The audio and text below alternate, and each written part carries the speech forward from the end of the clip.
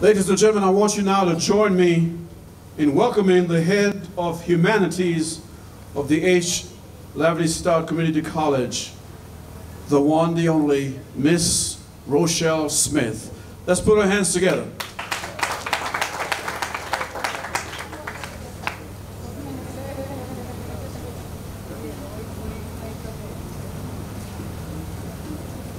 Good afternoon. The last time we met up, I told you, and you even heard about her earlier, about Pirine Georges. And you all like that so much that some of you are now meeting me and calling me Pirine. I don't mind it so much. But there's so many people in our BVI history that I have to tell you all about. Don't rename me too quick. Today I am leaving Pirine in the 1800s and I'm coming a little closer to the modern day to remind you about not one woman, but a group of women who without their hard work, many of us would not be here today. And to help me tell my tale, I brought the youngest of my 10 children, Tryphena Theodosia Thomas. Somebody come hold the child so I could talk to the people, please.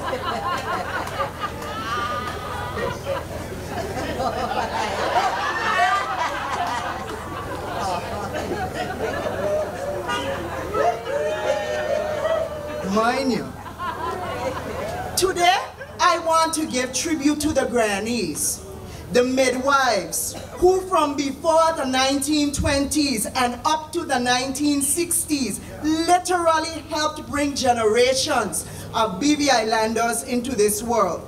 They had no medical training except for their own experiences, but they were able to assist women in their communities in their travails. Nowadays, I hear I have 40, 11 people in a hospital room full of shiny equipment. Well, it was me, Father God, and a midwife I called Cousin Silly in the chamber.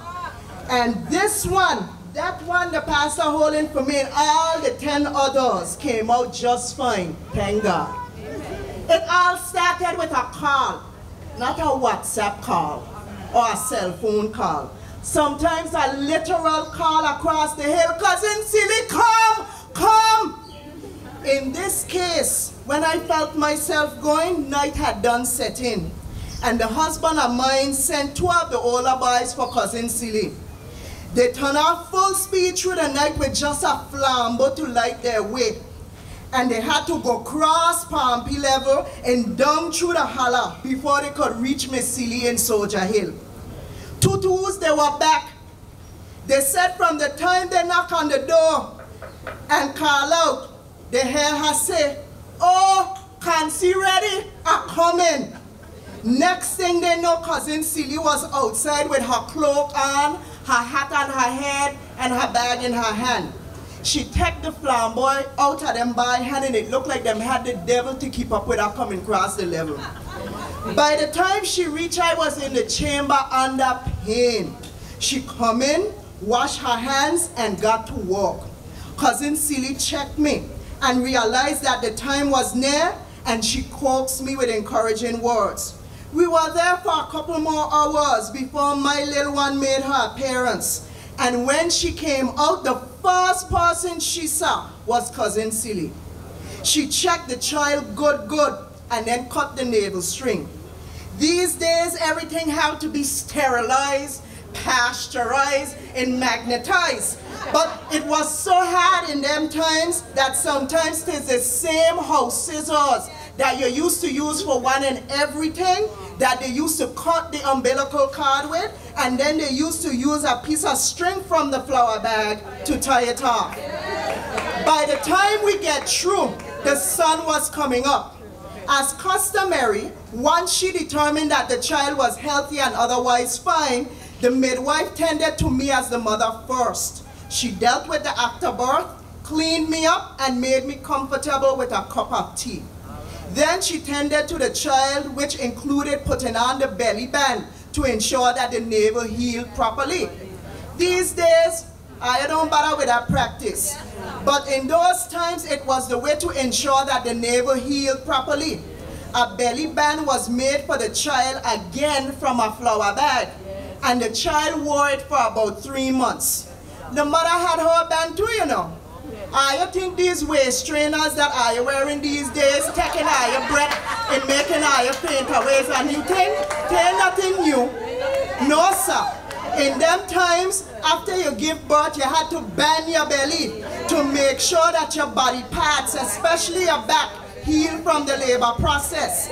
And that belly band, often another piece of flour bag material was worn for at least a month. What a blessing a flour bag was in those days. When cousin Silly finished tending to me and the child, it was high morning. She made sure we were all right before she went home to tend to her own husband, Buddyton, and her children. But that wasn't the last we would see of her. Of course, I had my lying in days. Nine days I had to stay in my bed. Thank God I had my older girls to cook and mind the house for me. But every morning, bright and early, cousin Silly was right there to look after me and the baby. She would bathe the baba, taking special care to clean and powder the navel and make sure the belly band was properly tied. Then she would look after me. She also made sure that my girls were washing the baby clothes well and keeping everything fire clean. Three days after the birth, she made me a drink to clean me out, as she put it. Lord, have mercy. I don't know what all was in it, but it had in some castor oil, a little brandy, and some milk, and clean me out it did. She told me that that was one of the ways to help my body catch itself. She kept coming every day as me and the Baba grew stronger. On the ninth day, she boiled a bush back for me out of several different bush. I don't know. Again, I don't know what all she put in there, but I know it had in some salsa, some beer wine, and some others. First, she gave me some out of it to drink with a touch of pond salt and a little cane rum. Then around midday, she gave me a warm bath with the balance of the bath backwater. Afterwards, she massaged me and stretched me to make sure that my body was back in line. Once she was satisfied that my body was in order, she gave the okay to end the lying-in period and for me to return to my daily duties, which now included the care of the newborn.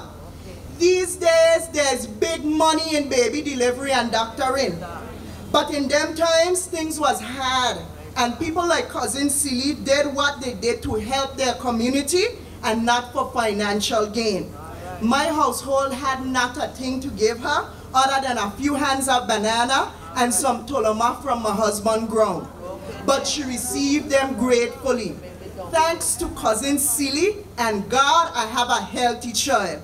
What a sweet little thing she is. I see her there?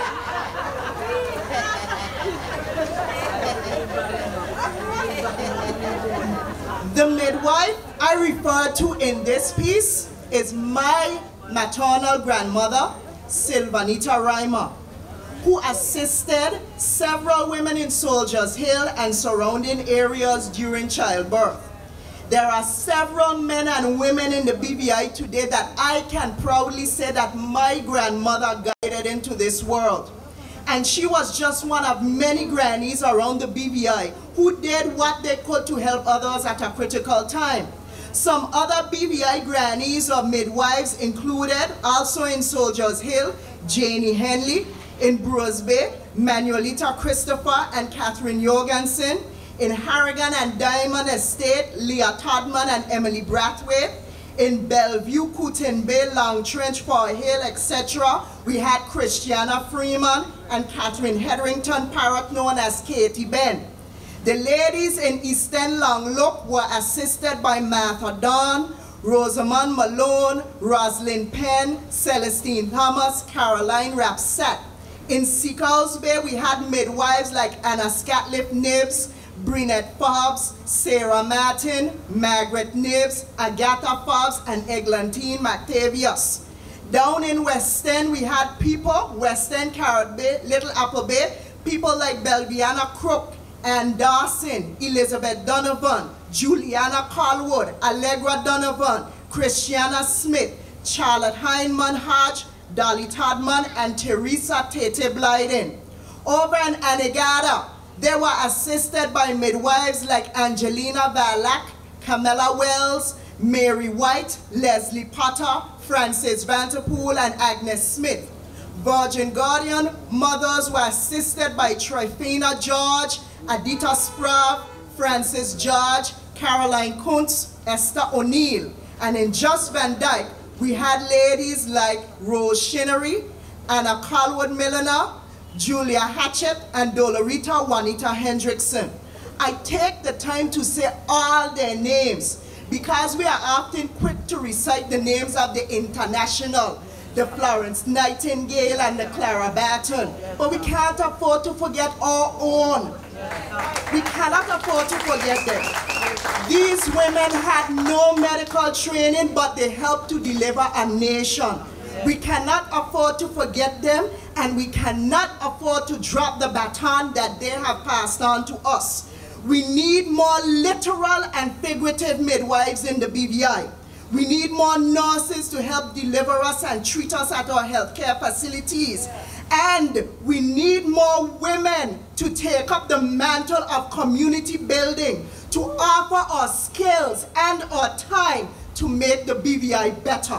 Amen. These ladies that I just called out, they had nothing, but they delivered the world. Now we have everything. Right. Let our legacy not be that we delivered nothing. Thank you. Oh. Thank you.